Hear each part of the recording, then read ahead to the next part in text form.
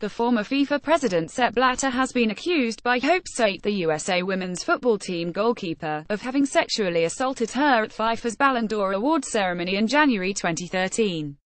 In an interview with the Portuguese newspaper Expresso, being published on Saturday, Solo 36 claimed she had Sepp Blatter grab my ass at the glittering presentation of FIFA's annual football awards for achievement during 2012. Solo presented the FIFA Women's World Player of the Year award on stage alongside Blatter, to her colleague on the USA team that had won the gold medal at the London Olympics, the striker Abby Wambach. Blatter, contacted via his spokesman, responded to Solo's recollection by denying that the incident took place. This allegation is ridiculous, he said. On the official FIFA film of the event, which was hosted by the Dutch football legend Ruud Gullit and the broadcaster Kay Murray, Solo was shown coming onto the stage with Blatter from behind a curtain at the back of the stage to present the award to Wambach. Talking to Expresso about sexual harassment in general, which Solo says is rampant in sport, she claimed Blatter grabbed her behind seconds before they both went on stage. One had Sepp Blatter grab my ass, she said. It was at the Ballon d'Or, right before I went on stage. Sexual harassment has been normalized. Expanding on the alleged incident on Friday, Solo told The Guardian that she had to compose herself immediately afterwards to concentrate on making her speech and giving the presentation to Wambach. I was in shock and completely thrown off, Solo said. I had to quickly pull myself together to present my teammate with the biggest award of her career and celebrate with her in the moment, so I completely shifted my focus to Abby.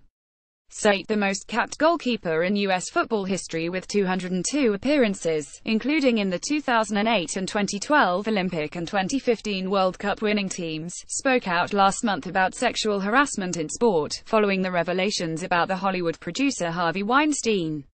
In an Instagram post Solo congratulated the women who had spoken out and wrote with the MeToo hashtag for the past few days, I have been thinking about all the uncomfortable situations myself and or my teammates have experienced throughout the years with trainers, doctors, coaches, executives and even teammates. From inappropriate comments, unwanted advances and grabs of the ass to coaches and general managers and even press officers speaking about players' tits and physical appearance, sexual harassment is rampant in the sports world. I always felt I'd handled it and stood up for myself in those situations, but there were never any consequences for the perpetrators.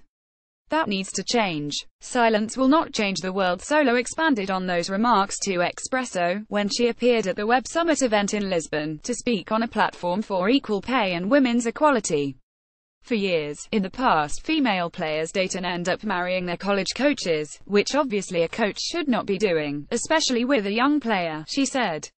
I've seen it not just with coaches. I've seen it with trainers, doctors and our press officers. I've seen it amongst players in the locker room. It's rampant. I'm actually very disappointed with the women who haven't spoken about it in the sports world. I wish more women, especially in football, would speak against it, about the experiences, because some of those people still work in football. Asked why she had not spoken out about the Blatter incident before, Solo said she always tries to confront directly people, including teammates, when it happens. With Blatter, she said as it happened seconds before she went on stage, she was unable to confront him, did not have an opportunity to discern when they left the stage and has never seen him since. Blatter, 81, won five elections as president of FIFA from 1998 until 2015, until he was banned by the organization for ethics breaches relating to a 2 million Swiss francs payment made to the then UEFA president Michel Platini in 2011. Over his years he faced criticism for a series of sexist remarks, including a suggestion in 2004 that female players could wear tighter shorts like they do in volleyball to make the game more appealing to a male audience. In 2013, he called a female candidate for FIFA's executive committee good, and good-looking. Days later, when congratulating the new female members of the executive committee, he said are there ladies in the room say something you are always speaking at home, now you can speak here. Solo has played for the U.S. national team since 2000, although she has not appeared since last year's Olympics in Rio because of a shoulder injury and a six-month suspension imposed by the U.S. Soccer Federation.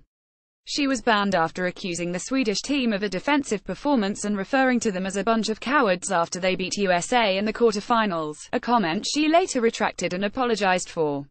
She told The Guardian she believes sexual harassment in sport must be dealt with while in this instance, it was Sepp Blatter, who was the most powerful man in football at the time. Sexual harassment and inappropriate behavior are rampant at every level in women's sport and it needs to stop.